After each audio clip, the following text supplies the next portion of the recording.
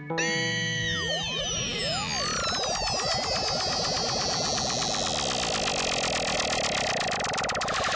is what it's like to be